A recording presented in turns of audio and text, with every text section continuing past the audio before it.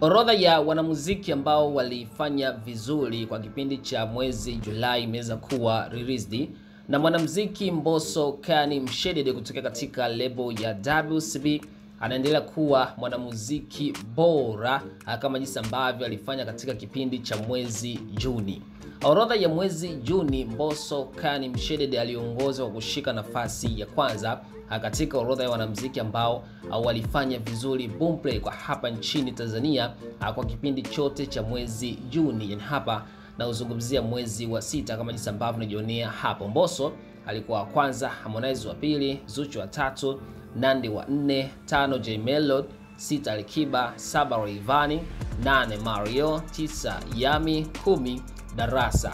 Lakini pia kwa kipindi cha mwezi Julai nafasi ya kwanza yuko Mbosso, mbili yuko Harmonize, tatu yuko Alikiba, nne yuko Zuchu, tano yuko Nandi, sita yuko Rayvanny, saba J Melody, nane yuko Juksi, tisa Lavalava, nafasi ya kumi ni Lukuga mashina mziki kutokea barani Afrika. Kwa hiyo hawa ni wanamziki bora, wanamziki kumi ambao walifanya vizuri Boomplay kwa kipindi chote cha mwezi wa saba kwa hapa nchini Tanzania na wanaongozwa na Mbosso Kani Mshedede kutokea katika lebo ya WCB. Drop down a comment, mimi ni Maurice ZR.